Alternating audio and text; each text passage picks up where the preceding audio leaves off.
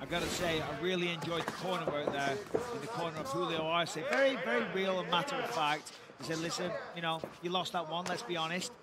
But then Julio's like, this is the round. This is where I go to work. This is where I'm gonna step on the gas.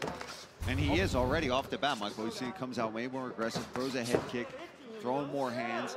and, and again, that seems to be how Julio Arce likes to work. He likes to make reads. Some guys, I don't want to say they throw around away, but they take a minute to get Yeah. adjusted, to figure out what's coming at me, what reads can I make, and how can I counter. Yeah, and, and listen, you spend five minutes in there, you know you can hang.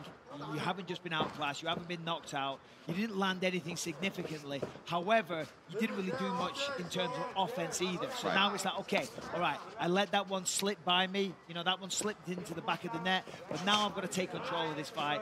You know, because at the end of the day, it is a fight. You know, it's not all about defending. You know, you've got to be offensive as well.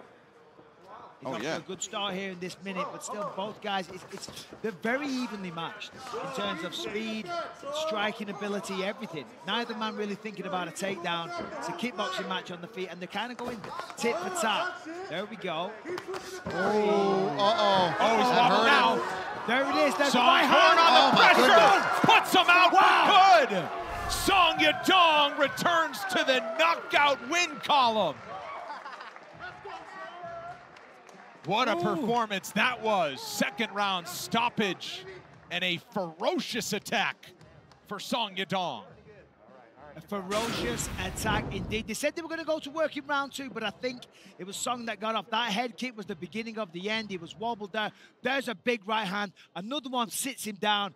And Herb Dean went in there, but he kind of missed him. He kind of stumbled over the leg of Arce, bless him.